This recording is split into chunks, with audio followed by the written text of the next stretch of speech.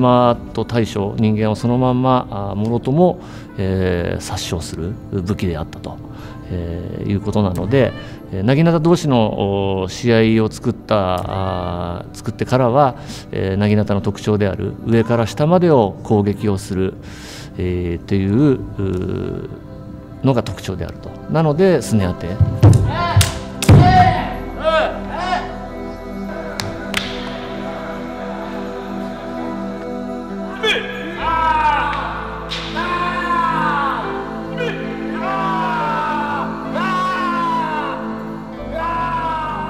重剣道と短剣道、えー、私は両方やっていますが、えー、私は短剣道の方が好きです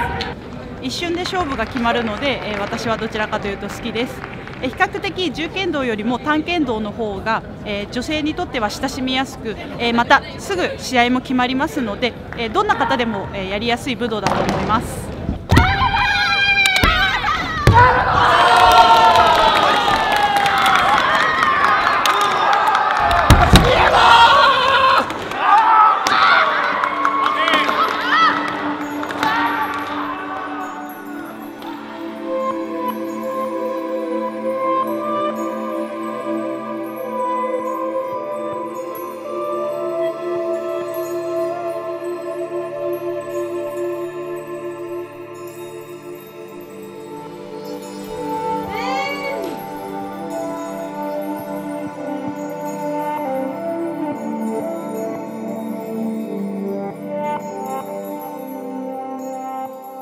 今ですね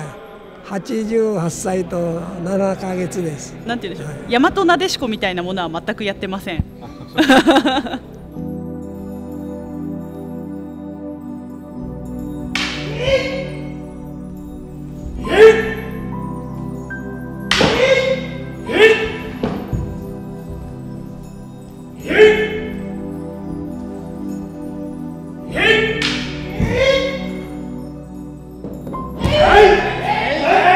あの修行していけばですねずっと上に行けばですねあの武器を武器を持つ武道もですね武器を持たない武道も要するに相手を要するに殺さないで制するというところに尽きるんじゃないでしょうか。